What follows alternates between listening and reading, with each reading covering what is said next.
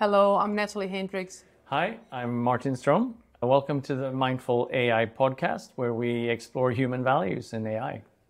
Thanks for tuning in. In this very first episode, we will look into the purpose, format, and structure of the Mindful AI podcast, and we'll also discuss how you can be part of it. So, the purpose of the podcast is to explore the ethical aspects of AI. And one area that I'm particularly, you know, personally interested in investigating learning more about, it's how and if can we embed human values into AI. Our intention is to facilitate meaningful conversation, conversations, inspire and influence the direction that AI is taking, and maximize the benefits and help to minimize the risks of AI to humanity.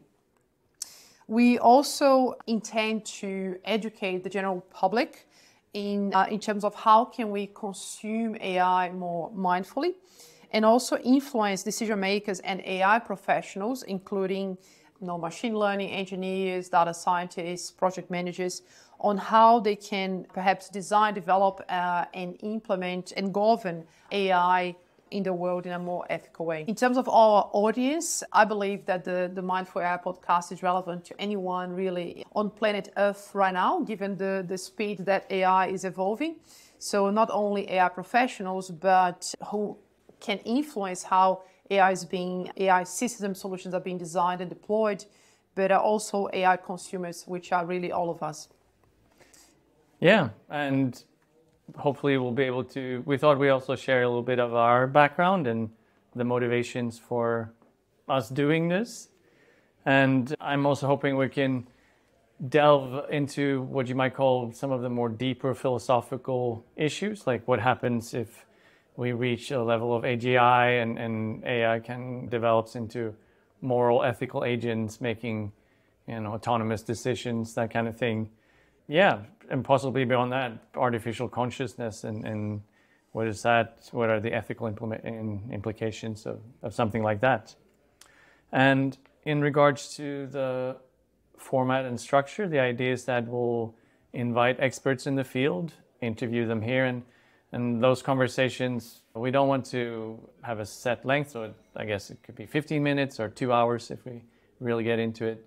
But we plan to put out monthly episodes with guest speakers that we interview, and then also in in the meantime or in between, we might find something that me and Nat discuss, some, a book or an article or something that's a development, something that's happened. That's the plan for the structure that's the plan. We'll see how it develops. yeah.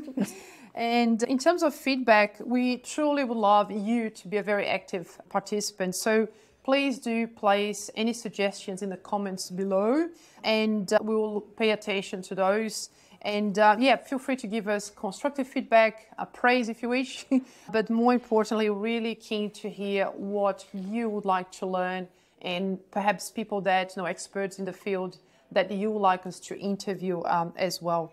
And I should say also we have three people lined up already for. We're trying to book them in. I don't yeah. know if you want to share, maybe not. Yeah, yeah well, let's let's let's do a preview. Yeah. so the first one is uh, Rasmus Hougaard, who's the managing director of uh, Potential Project, and we got uh, Merve Hickok, the uh, president uh, for the Center for AI and Digital Policy, and then Dr. Kim Oosthuizen, who's head of AI at SAP. So that's where we intend to try to start. Yes. Yeah. Yes. So next, I'd like to introduce my co-host Martin Strom. Which is me. I'll read his official bio. So Martin is a multifaceted individual who wears many hats. He's the CEO of Interconnected, a company that merges tech with mental wellness through meditation apps. With a master's degree in both computer science and psychology, Martin is not just a tech guru, but also a licensed psychologist. He has advised giants like Microsoft and IKEA on mindful leadership and has co-authored books on mental clarity and kindness. A public speaker for over a decade, Martin is also a meditation teacher and sits on the board of three non-profits aimed at bringing contemplative practices like meditation into society at large. But his LinkedIn title sums it all up simply as fellow human being, underscoring his mission to make the world a better place for all of us. So, this is the official bio. Martin, what else do you think it's relevant to share? What else uh, you reckon the listeners could uh, be interested to learn about you so they understand your motivation to co host the Mindful AI podcast? Yeah, I guess I, I have this weird background of, of computer science on one hand and being involved in lots of, or uh, not so, a bunch of tech startups, and but I'm, I'm also a licensed psychologist. So I guess those two things together might lead a person to be interested in the ethical aspects of AI uh, and how it implement or influences well-being and so on. But in terms of how we actually got to this point right here, you and me, I'll give a little backstory. So storytelling time. yeah. No, and I'm originally from Sweden, but about seven years ago, I think it was, we traveled. Me and my family, my wife and now 16-year-old daughter. She was six or seven back at the time. So it must have been eight years ago. Anyways, we rented a camper van and we are traveling down the east coast of Australia, and then eventually we ended up in Melbourne. And in Melbourne, I realized that I had a colleague who worked for the same leadership development company as myself, which is the Potential Project. So I reached out to this colleague and asked if she wanted to have lunch. She did want to have lunch, and as you might have guessed, that colleague was Nat. Me. yeah, and we really hit it off. Realized that we share a lot of common interests and ideas, and also the background with IT and and meditation. It's this interesting mix.